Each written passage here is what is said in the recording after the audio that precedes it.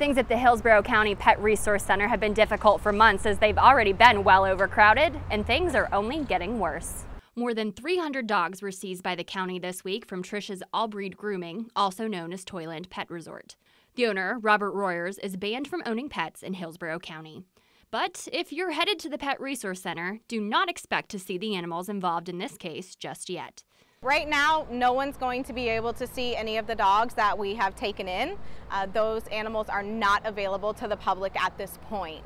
Right now, it's just the dogs currently that were at our shelter before we did this that are here either on a stray wait or ready to go that can be adopted. While the dogs from the case won't be adopted for at least another 30 days, allowing Royers to appeal to a judge, these dogs at the overcrowded shelter, about 300 total, need loving homes. And adoption fees for cats and dogs have been waived for the foreseeable future. It's a lot. We're, um, we're still taking on animals, so we have been very busy. Um, not only are we caring for the ones here that were already here, we are now caring for these additional dogs.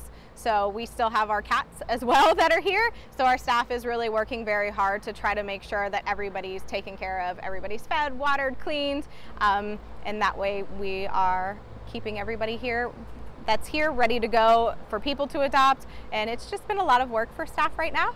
Those who aren't able to adopt an animal can donate supplies outside of the shelter. Donations can also be made via an Amazon wish list, and monetary donations can be given online. We've gotten a lot of phone calls, a lot of emails. We did have a long line of people waiting outside this morning. Um, so I know we've had a lot of people coming through. They are looking at the dogs we have here. I think some were hoping it was part of the dogs that we got in, but unfortunately, those guys are not available right now. However busy they may be, Post Leone says the shelter's volunteers are ready to help get paws out the door and they really just want people to come in and meet them and they're willing to help to see if there's somebody that'll fit in with your lifestyle, whether it's for 60 days, which is our foster program, or hopefully the rest of their lives, you know. To see all the dogs currently available for adoption, head to hillsboroughcounty.org.